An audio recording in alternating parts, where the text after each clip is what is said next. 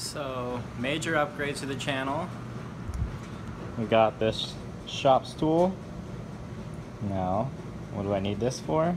When I have this leather office chair. I got this work bench, work desk area.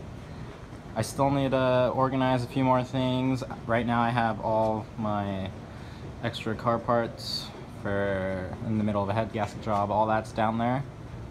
Um, so I still got stuff to order, but the work desk looks good. My garage is just full of stuff. I haven't really been here to organize anything. I just kind of put it all together and then left for college. So today we're gonna work on this red C4 Corvette, my 85 Corvette that left me stranded on the side of the highway for the second time. So that cap just lifts out of place you can see I got some zip ties. This is where I tested for the wiring, the fuel pump wiring. I just zip tied the harnesses. That way they don't fall in there and I don't have to reach in there. Um, looks like some sort of some Torx maybe. It's really dirty down here. So I'm gonna have to take off this plastic cover off. But first I'm gonna try to clean up all this so nothing falls into the tank. All right, this area is cleaned up decently. Now it's just getting off this plastic rubber sort of thing. Uh, it's really cracked, uh, but I, I, doubt this really does anything for sealing gas vapors or anything like that. So I'm just gonna figure out how to remove it and take it out. All right, so it's removed. Here it is. And there was this hose going into this fitting here. So it wasn't actually bolted in. It was just um, just like plastic form to fit so you just had to wiggle it out. Um, now here's the inside. It looks like we got a bit of leakage on the side of the tank coming out of this so good thing I got a new gasket. And it looks like this is just RTV someone didn't even put a gasket on. I'm hoping this is not this has obviously been touched before. I'm hoping it's not like the wiring's all crappy in there. So now I gotta take these lines off. Uh, last time I had the car with the battery in it, I cranked it with the fuel pump off just to get the fuel pressure out. So it shouldn't squirt everywhere, but just in case, I'll have a rag nearby. Alright, all the hoses in here are disconnected. Looks like this top one is the send, this one's the return, and then this is for the evap system. We just got these bolts that are all around this cap thingy. So let me just take that off and then it will pull out. Alright, all the bolts are off.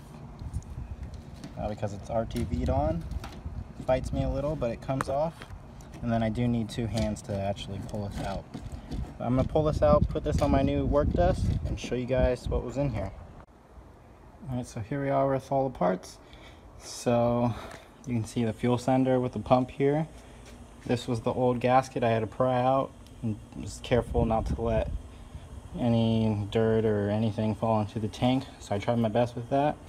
Then inside the tank, I found this hose clamp and then whatever this black thing is, I have no idea what that is. But that was inside the tank, right where the fuel pump sits. So right under this little sock. So I use this long magnet to pick it out. This is plastic, so I kind of had to get creative, but I got it out. Now let's, I'm gonna take this apart and see if I figure out what's wrong. What went wrong with it. If not, if it was just the fuel pump that died, I'll swap over my new fuel pump.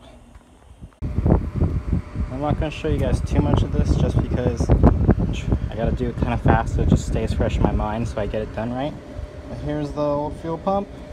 I got my new one unboxed here. All I have to do is transfer everything over, basically make that fuel pump look like this fuel pump and go in. Alright, here's the fuel pump all assembled with the new fuel strainer or fuel sock. Um, yeah, it's it's a little ugly. I had to do what I had to do to get it to work.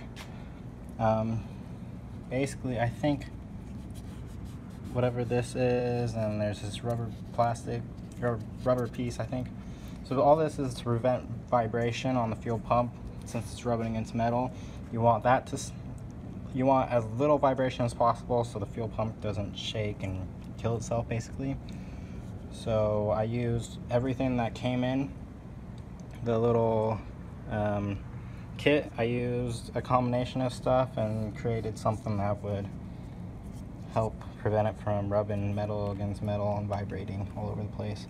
So now it's ready to go in. So I'm gonna throw it in there real quick. So I put it in, then I realized I forgot the gasket. So I have a brand new gasket right here. I gotta take this out and put this in.